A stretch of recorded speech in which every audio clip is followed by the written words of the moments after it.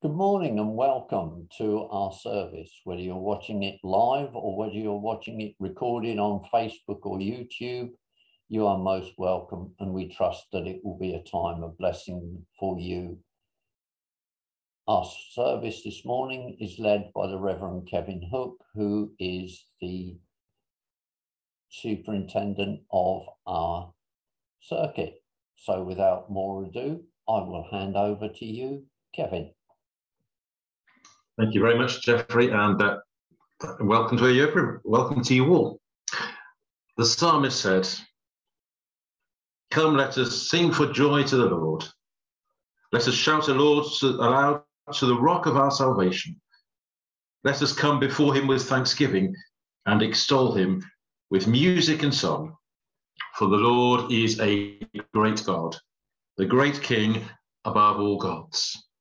And so, shall we praise God as we sing together our opening hymn, which Jeff has chosen for us My Jesus, my Saviour, 103 in Mission Praise, 1003 in Mission Praise.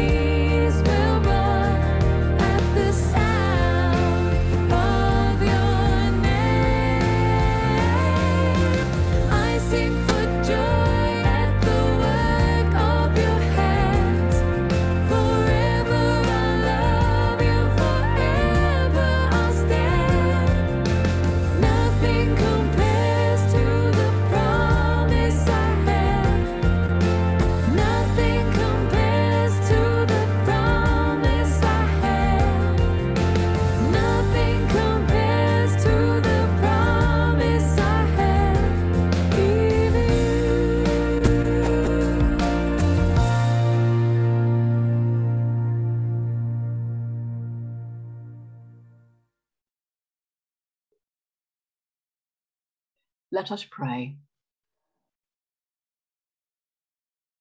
With all your people on earth and heaven, we praise your name, O God, for you alone are worthy of adoration. Majestic and glorious, encircled in light, radiant in splendor, stupendous in love, rich in mercy, abounding in grace, you reign supreme beyond space and time. In you is the fullness of perfection. In you is our hope of salvation. In you is the promise of eternal life. With all your people on earth and in heaven, we praise your name, O God, through Jesus Christ our Lord. Amen.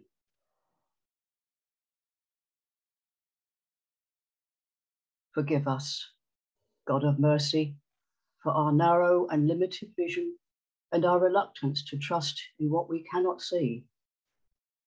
Forgive our preoccupation with the here and now and our failure to seek the things above. Forgive our earthbound thinking and our feeble sense of the communion of saints.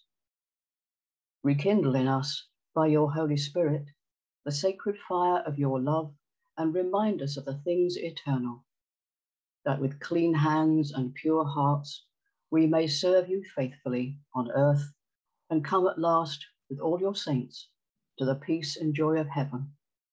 Through Jesus Christ our Lord. Amen. There is a response to the prayer of thanksgiving if you care to share it. When I say blessing and glory, thanksgiving and honor, the response is be to our God forever and ever. Blessing and glory, thanksgiving and honor be to our God forever and ever.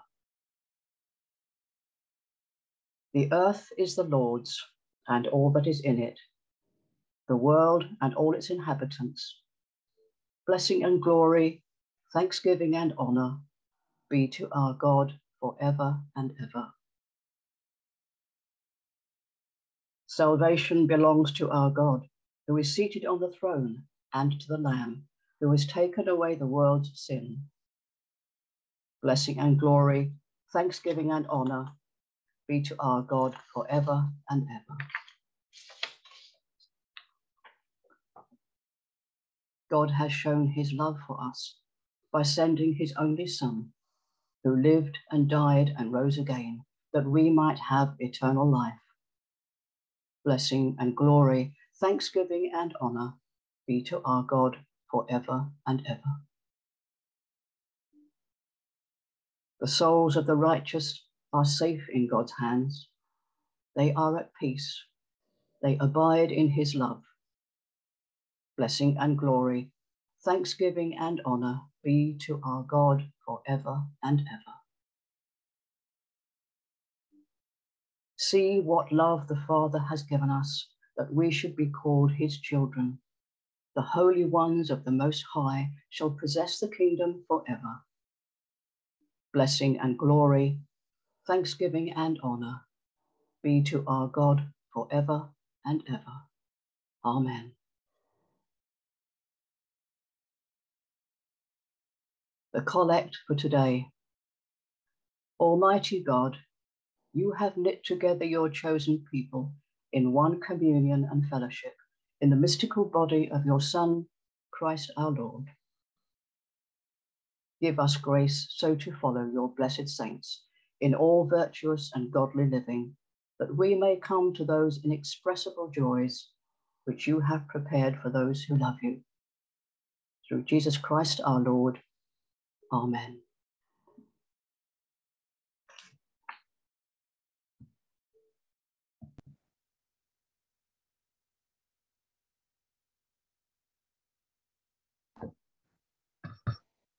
Thank you, Christine, for those prayers.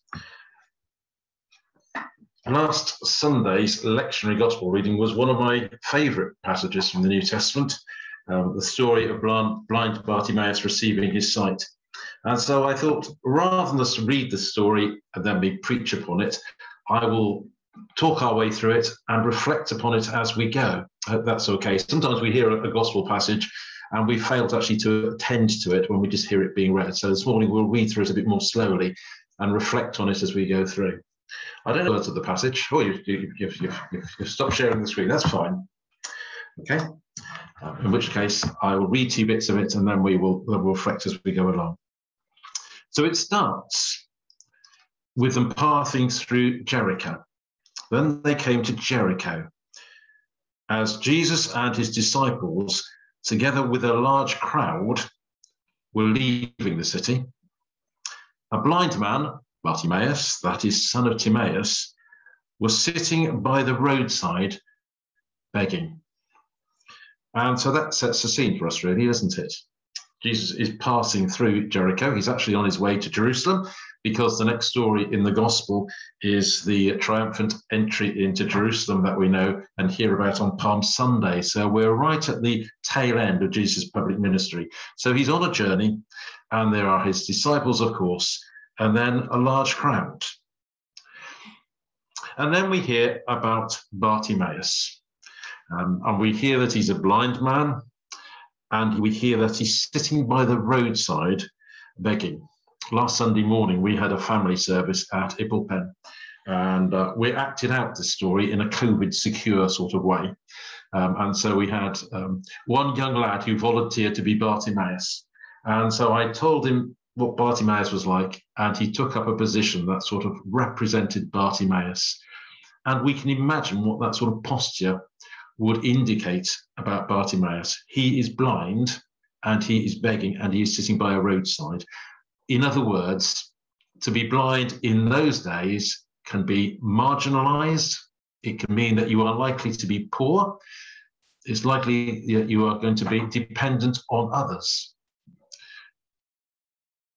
It's likely also that actually you're going to feel pretty low about yourself, not only because of your poverty and being dependent, but also in those days, sometimes disease and disability was seen as a sign of God's displeasure. And so, for all those reasons, Bartimaeus' self esteem, we would assume, is low, but certainly he is marginalized. But when he heard that it was Jesus of Nazareth, he began to shout, Jesus, son of David, have mercy on me. Jesus, son of David, is quite a strong sort of phrase about Jesus, isn't it? I don't think anybody else in Mark's gospel calls Jesus son of David.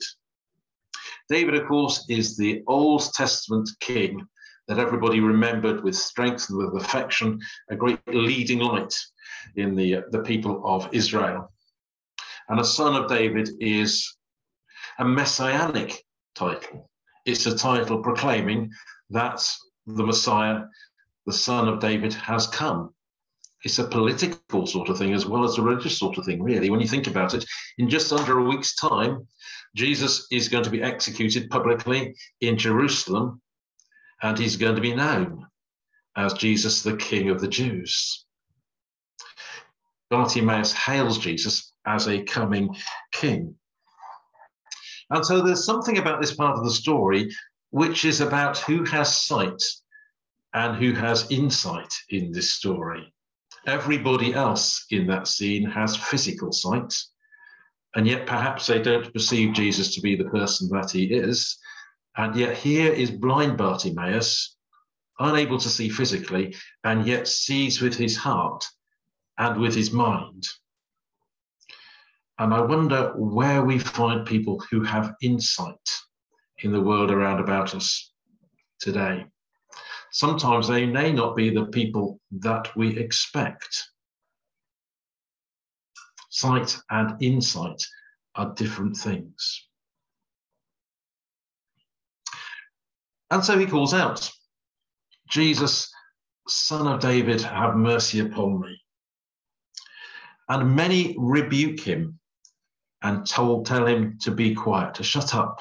And I wonder why they do that. Why do they tell Bartimaeus to pipe down? Is it maybe that he's saying something that is very controversial? Son of David, the Messiah.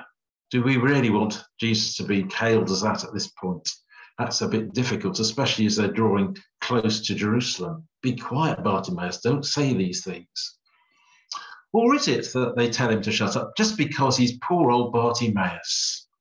He's only the blind beggar. Jesus has far more important things to be doing, far important people to be seeing and attending to than Bartimaeus. Who is he to call out and hail Jesus amidst this, this procession passing through the town?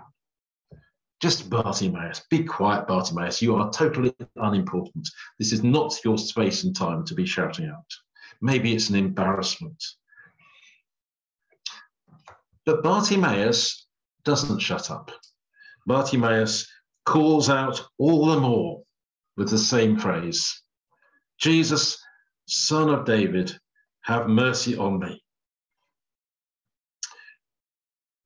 And so the text then goes on to say that Jesus stops and calls him. And that sense of Jesus stopping, I think, is quite an important little bit in the gospel. Because let's remember, Jesus is on his way to Jerusalem. He's on to the last week of his life. He's going to face rejection, death on a cross absolutely horrific. The last story before this one, Jesus is having to tell off his disciples, particularly James and John, but the rest of the, and the rest of them, because they're arguing on the way. They're arguing about prominence and who's going to have the most important seats, who's the most important among them. And so this is so close to Jesus' death that he has to hand over his work onto his disciples. And he really needs them to get it at this point, to understand who he is and what he's about. And they have failed to do that. And so all those things must be weighing heavily on Jesus as he draws near to Jerusalem and as he passes through Jericho. So much in his head, so much to preoccupy him. And yet, despite all that, he stops and I don't know how it is for you and me, or how it is for you. I know it is for me that when I have a lot on my mind and a lot of things buzzing around in my head, particularly the things that I need to do in the next day or coming days, stopping and noticing other people is one of the things that is likely to go out of the window. We get so wrapped up in our busyness and the things that are important to us that sometimes we fail to listen to others we sometimes we fail to give attention to others, but Jesus does not. Jesus stops and calls Bartimaeus. He is not too preoccupied. He is not too busy to notice and to notice somebody calling out to him and somebody in need. So Jesus calls him. And so now the crowd are a bit more interested. So they call to the blind man, Cheer up. On your feet, he's calling you. And throwing his cloak aside, Bartimaeus jumped to his feet and comes to Jesus. And Jesus says something which, on the face of it, is quite remarkable. Jesus says to him, What do you want me to do for you? What do you want me to do for you? I mean, isn't it obvious? Here is a blind man begging by the street. Isn't it clear what he's going to ask of Jesus? Everybody else who would ask for a coin or two, or a bit of ha- a bit of a handout, or a bit of help, but this is Jesus. Surely it is obvious what he is going to ask for. So why does Jesus bother to ask? Well, maybe it's because sometimes it's important to express what's going on inside us. Sometimes it's important to express to God who we are, what we're going through. Sometimes when you express something in articulating it, you make it clear for yourself, you sort it out for yourself. And sometimes, actually, when you have to articulate something, actually, you know what your need is. You put into words that which is in your head and you express your need. Please help me. I want help with this. Actually, it's a far stronger statement than just, I can't cope with this. So maybe Jesus helps him by asking him to express out loud what it is he wants. But maybe also Jesus just gives Bartimaeus a voice. Up until now, he's just been blind Bartimaeus. Poor old Bartimaeus. We might have pity for him. We may have feel sorry for him. But actually, he is powerless. He's dependent. He has no voice of his own. And so maybe at this point, Jesus gives voice to somebody who would otherwise be unnoticed, unheard, not listened to, not valued. And so, if that is the case, I wonder who today we need to give a voice to. Who do we need in our churches, maybe? In our social friends? In our society? Who do we need to hear that perhaps we don't hear, that we don't give attention to, who sometimes doesn't have the opportunity to speak out? Sometimes, even in our church meetings, there are voices which we hear frequently, and there are voices which we don't hear in our meetings. They stay quiet. Maybe we need to attend to those people's opinions and ideas and thoughts as well. But also in our wider society, there are people that actually need to be given a voice. Maybe for all these reasons, Jesus says to Bartimaeus, What do you want me to do for you. Blind man says, Rabbi, I want to see. And the story finishes with Jesus saying to him, Go, your faith has healed you.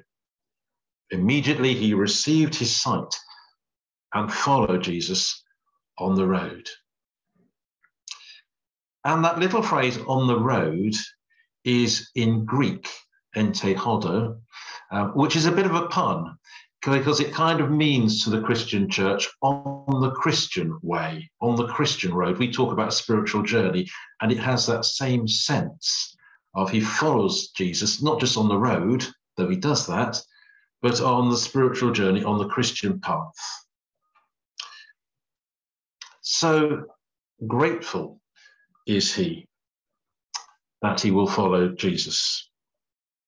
And remember that following Jesus for Bartimaeus at this point means heading towards Jerusalem and the last week of Jesus' life. That's not an easy time to start being a disciple of Jesus.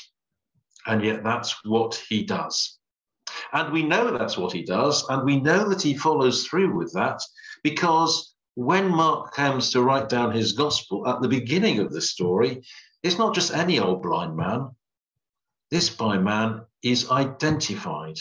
He is Bartimaeus, the son of Timaeus, which kind of suggests quite strongly that when Mark came to write this down a generation or so later, Bartimaeus, son of Timaeus, was known to Mark's community and to the Christian church. This is the man that you have heard of. This is the man that you have known. And so there's something about Bartimaeus' insight.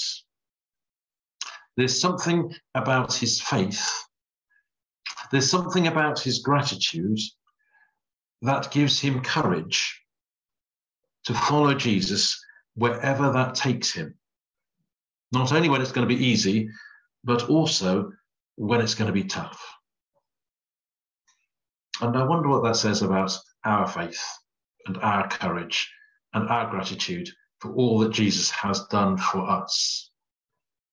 That we should follow him not only when the skies are blue, but also when it's pouring down with rain.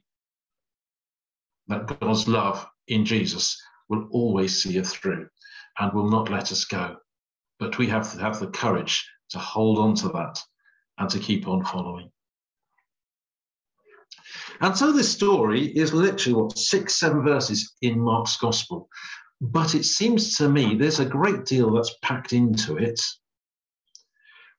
All sorts of potential messages for us. So instead of me telling you what you need to, to, to, to get from this reflection on the story, I'm going to leave it a little open ended so that you can continue to reflect and work out what you think is the most important bit for you. Is it that question of where do we find sight and insight? Is it about the restoration and the giving of life to somebody who, at the beginning of the story, was marginalized and poor and dependent, but now is valued and independent? Is it about that sense of we need to keep following Jesus and being disciples when it's easy or when it's hard? Is it about that sense of uh, Bartimaeus being given a voice? And who do we need to give a voice to? Who do we need to listen to in our society? Who are the marginalized in our society?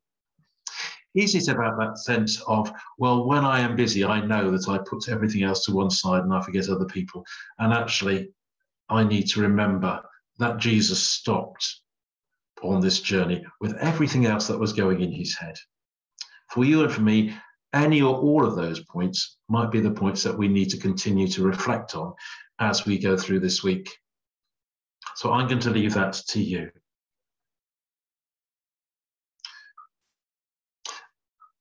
When I thought about a hymn to follow the story of Bartimaeus, there was one, of course, which came immediately to mind, and that's what we're going to sing. It's number 31 in Mission Praise, if you want to follow the words there, but they'll obviously be on the screen, and it is the familiar words of Amazing Grace.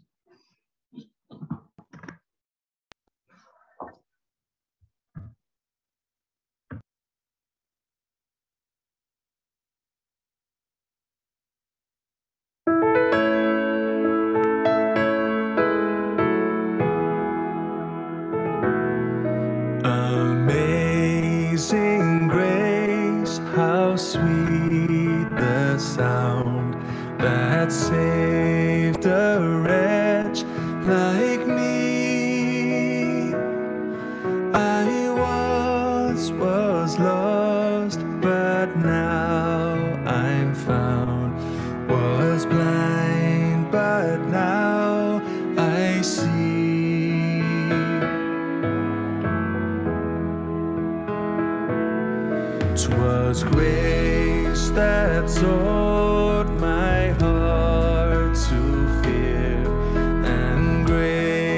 my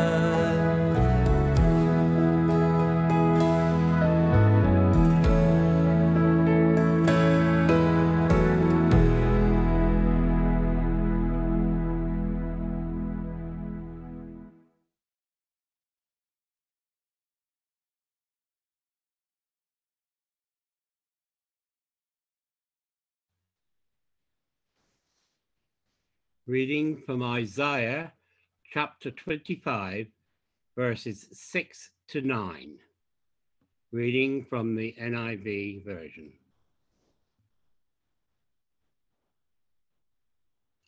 On this mountain, the Lord Almighty will prepare a feast of rich food for all peoples, a banquet of aged wine, the best of meats, and the finest of wines. On this mountain he will destroy the shroud that enfolds all peoples, the sheet that covers all nations. He will swallow up death forever. The sovereign Lord will wipe away the tears from all faces. He will remove his people's disgrace all of the earth from all the earth. The Lord has spoken. In that day they will say, Surely this is our God. We trust in him, and he saved us. This is the Lord. We trust in him. Let us rejoice and be glad in his salvation. Thanks be to God. Thank you, John. Chosen that reading about the wiping away of every tear and uh, the place and the hope of eternity and the place of God's love and permanence because today's Halloween, which means tomorrow is All Saints' Day when we remember the saints of the church. And it's followed on November the 2nd by All Souls Day, which is about remembering all those who have gone before us, who are not the named saints of the church, but nevertheless are the people of God. And uh, it always seems to me, to me important at this time of the year to remember those who have gone before us in faith and in life, and maybe to remember those who are particularly the saints of our own lives. I don't know whether you watch Who Do You Think You Are? I think it's a fascinating program as people delve into their past and find out more about their forebears and what have made them uh, become the people that they are. It was Alex Scott um, last week who went all the way to Jamaica and found things in her past that she was pleased about and some that kind of upset her really. Um, because there were th- things that happened in her past, uh, in her family's past, that she would have disagreed with today. Um, but nevertheless, she said, you know, that's helped make me the person that I am. And uh, we stand on the shoulders of those who have gone before us. And so, in a moment or two, Jeff's going to play a piece of music for us.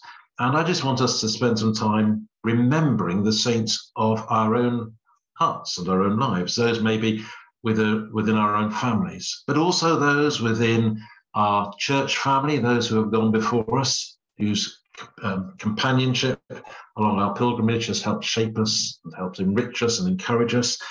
Maybe also remember others who are dear to us, friends, neighbors, whoever they are, but those people who have been the saints of our lives. And so we have a couple of moments now with some music just to reflect and to call them to mind and to say words of gratitude and of love and to hold them in our hearts um, and to, to, to, remember them before God and in our fellowship together. And after that, then I will have a, I'll say a couple of verses from scripture and then we'll have our prayers. So, Jeffrey.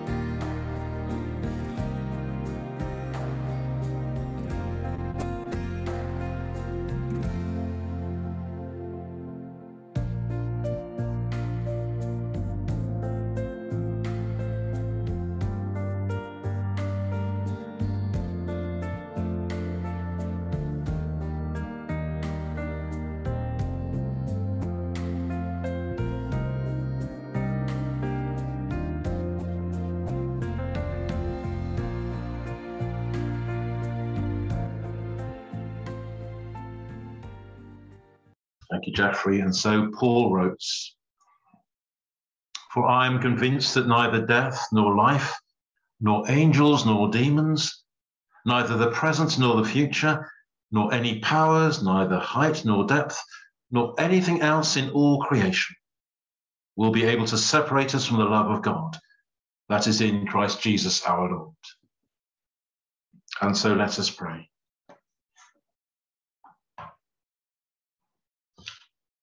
And so, Father God, on this eve of All Saints and then All Souls Day, we offer you our thanks and our praise for those whom we have just remembered, the saints of our own lives.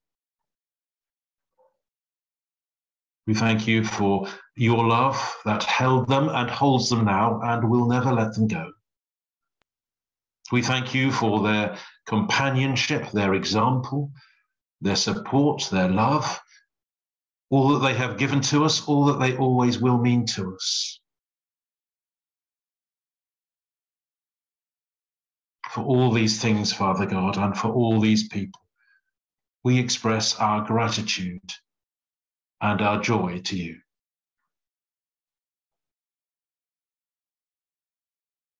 And Father, as we remember those who have been a part of our lives and we remember the past, so we hold before you the presence. We come before you on this Halloween when people mark darkness. And so we hold before you those who live with the darkness of fear. those who live with the darkness of poverty,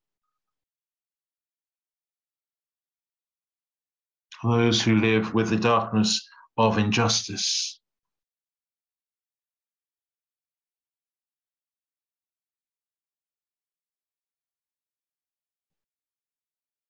We pray for those who are unwell. We pray for those who are bereaved. We pray for those who carry heavy burdens. We pray for those who have big decisions to make. We pray for those who are carers in our society,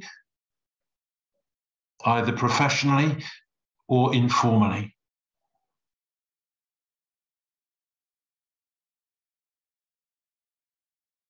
And Father God, we hold them before you, knowing that darkness is not dark to you, but you are present in our darkness and in the darkness of the world. We pray for your transformation, your healing, your hope, your wisdom.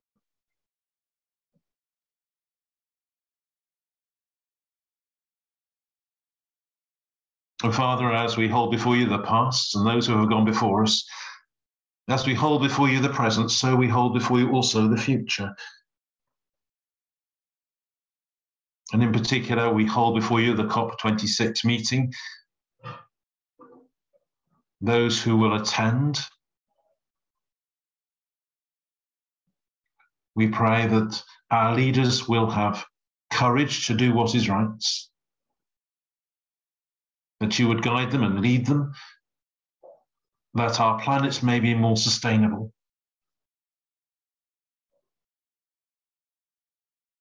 We pray for the continuing outworking of public policy in our own land and elsewhere. That people may not be marginalized but strengthened might receive the practical support and the inner strength that they require.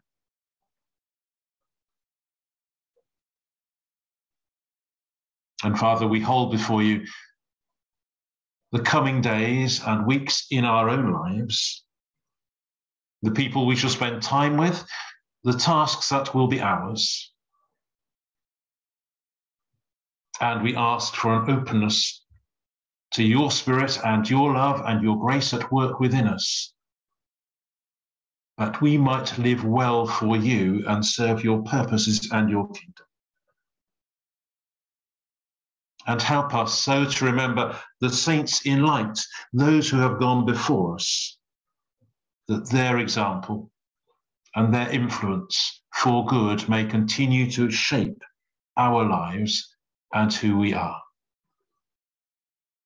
And Father, we offer you all these our prayers, not in our own strength, but in Jesus' strength, not in our goodness, but through your grace.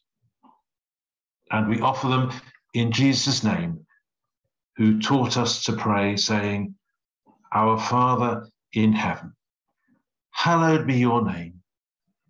Your kingdom come, your will be done on earth as in heaven. Give us today our daily bread. Forgive us our sins as we forgive those who sin against us. Save us from the time of trial and deliver us from evil. For the kingdom, the power, and the glory are yours, now and forever. Amen.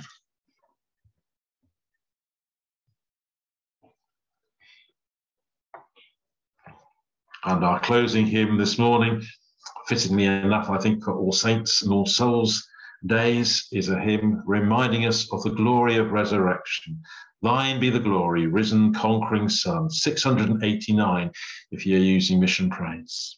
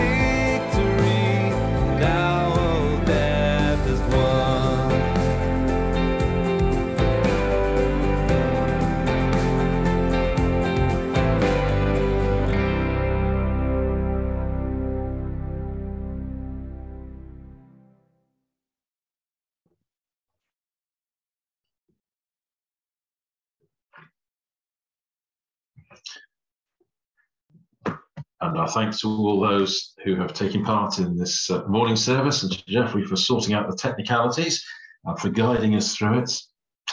and a prayer to finish with. Grant us, O God, in all our duties, your help, in all our perplexities, your guidance, in all our dangers, your protection, and in all our sorrows, your peace. And the blessing of God, Father, Son, and Holy Spirit remain with us and those we carry in our hearts this day, tomorrow, and forevermore. Amen.